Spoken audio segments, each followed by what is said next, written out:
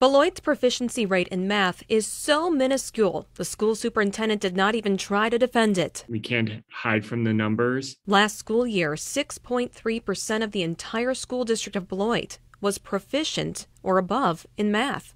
That's more than five times lower than the statewide average, which is 33.6%. Beloit Superintendent Dan Kaiser says one program that helped many students get back on track this school year was their summer math and science boot camp program. While we are the most diverse school district in Rock County, it doesn't mean that we have all the answers. Beloit is not the only school district with meager scores. Just 4.2% of all Milwaukee public school students were proficient in math last school year.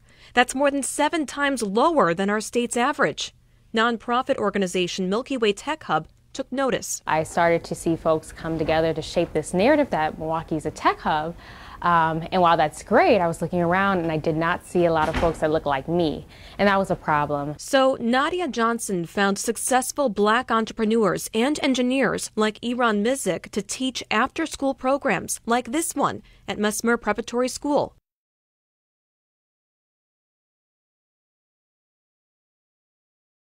He is teaching the students how to program and light the Hoan Bridge, which they will actually do themselves in a matter of weeks. Like loops, algorithms, and all the stuff like that. We're going to light the Hoan Bridge. I'm really excited to just like program it. It's important for you know young people of color to see people like them in successful environments so that it, it, can be normalized within our communities. Being able to teach STEM is an amazing experience. Something that Beloit superintendent hopes to implement in their own way as well. We know that students who see educators who look like them come to the classroom in, in a different way. And we're not there yet, but we're striving towards that. Showing after two years of virtual learning, it is going to take a village to ensure our next generation's success.